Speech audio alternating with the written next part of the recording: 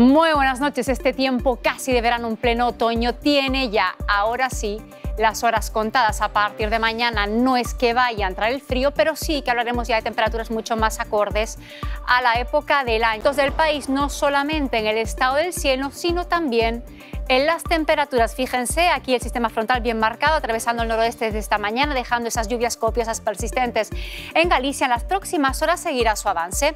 Y esta próxima noche, mañana por la mañana, dejará aún algunas lluvias ya más debilitadas en áreas de León, de Zamora, de Valladolid, de Salamanca, sistema central en Extremadura, otras en el centro, bastante débiles y dispersas. Y ya al final del día tenderán a remitir en este sector y se concentrarían básicamente en áreas Cantábrico Oriental, incluso en el Pirineo Occidental, con nubosidad variable en la vertiente mediterránea, nubes bajas también en amplias zonas del interior y este peninsular, poco nuboso en Baleares, igual que en Canarias con algo de calima y las temperaturas tras el paso de ese sistema frontal comienzan a decaer. Hablaremos de un descenso en principio mañana de hasta 8 grados menos con respecto a las máximas, eso sí, tan elevadas de hoy.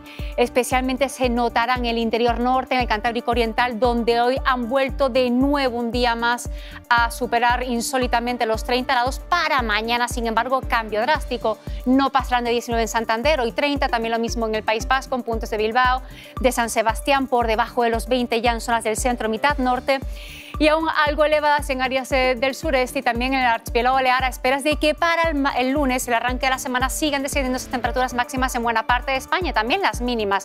Sistema frontal para arrancar la semana, el lunes, segunda mitad del puente, dejando lluvias ya también atravesando gran parte del centro. El martes, a partir del martes, previsiblemente volveremos de nuevo a un tiempo seco, pero más fresco en buena parte del país. Seguimos con más en unos segundos. Ahora sí, cambios en el tiempo a partir de mañana y no podemos irnos sin recordarles también ese cambio en el tiempo. El horario, el del reloj a las 3 de la madrugada tendrán que ser las 2, una hora menos en Canarias. Feliz noche y hasta mañana.